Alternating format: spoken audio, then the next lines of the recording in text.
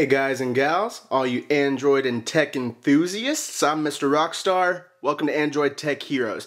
Now guys, I've been away for about three months now, but only because I'm trying to get the best HD camera, I'm trying to get the best software, um, the best mics, to have the best audio.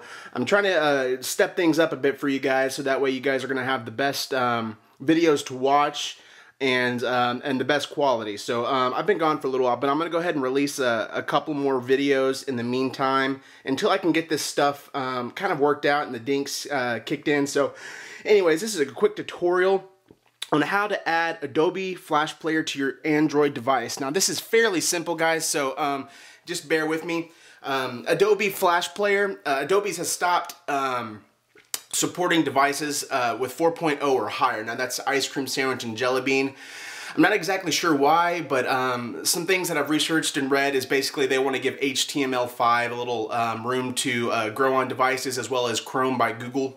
Um, they want to give them a chance to thrive on um, devices before they can actually bring it back. Now I don't know if they're going to actually bring Adobe back on devices, but I think it's great to have. So um, I'm going to go ahead and show you how to get it back fairly simple. You need your cell phone or a computer.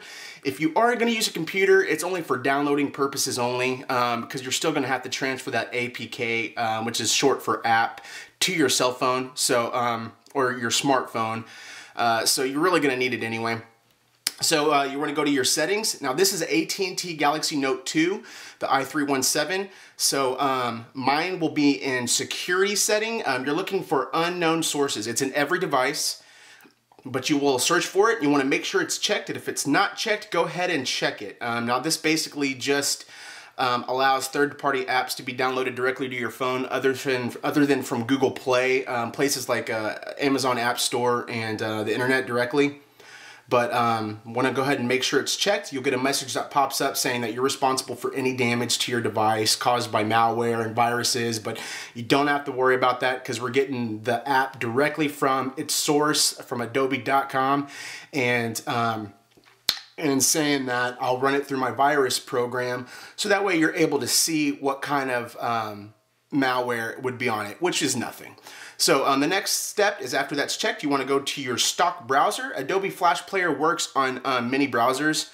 Um, it works on Dolphin HD, it works on Dolphin Mini. It does not work on Chrome um, by Google, but it does also work on Opera. So um, you can download it using Chrome, but it will not work on Chrome.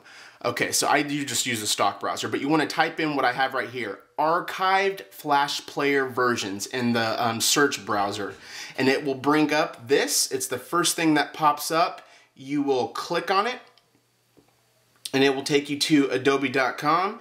You will scroll to the bottom. I believe should be somewhere right here. Let's see if I can find it. There we go. And you're looking for um, Flash Player for Android 4.0 archives. Um, it's the first thing that you'll click on.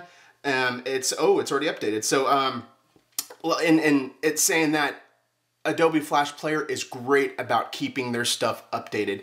They're very, very, very on the target. I mean, I, I mean, seriously guys. Uh, every month or so they have a new version come out. So um, after you download your flash player every month or so I would come and um, I'll, I'll, put the description in uh, the video below.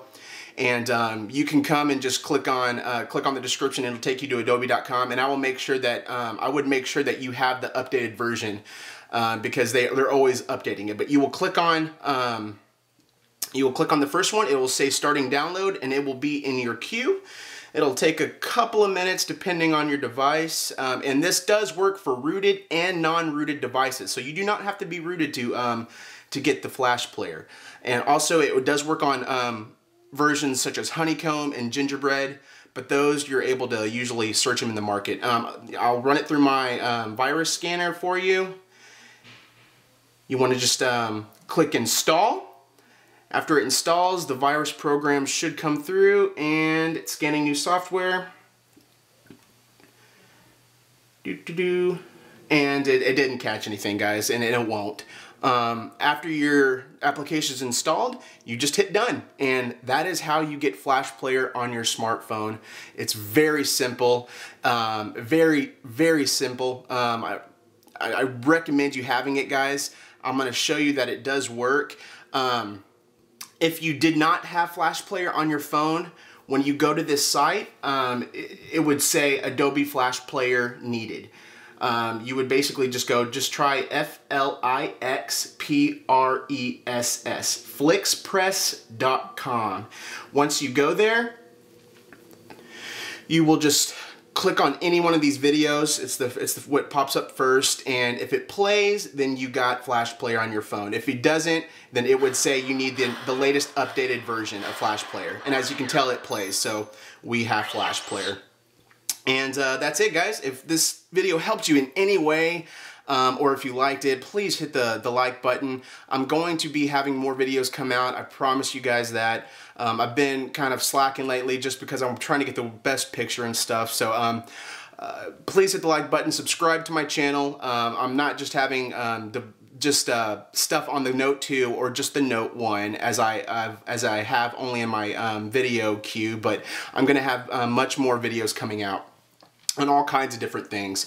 And we're actually going to try to start a vlog. So um, uh, if you're wondering what kind of stuff I have on my phone, this right here is um, an app called Zooper Widget Pro. Now that's Z-O-O-P-E-R Widget Pro, and you can find it in the market. Um, great stuff. It does cost like $1.99. I would get it, highly recommend it. It comes with all kinds of cool uh, date apps and um, time apps. If you're looking, if you're wondering about what kind of stuff I have like this, um, I'll have a review on it later. It's the it's TSF shell. Now that does cost a hef, hefty uh, $14.99. So um, it is a little bit more expensive, but I, I do have a way that you can get it for free, and I'll have um, a video on that coming out as well. But I do recommend, um, after you do try the free app, that you still try to go and um, uh, give uh, give donations to the devs, because they did great support. So um, that's it, guys. I hope you enjoyed the video. Uh, this is Mr. Rockstar with Android Tech Heroes, and uh, we'll see you next time, guys. Thanks.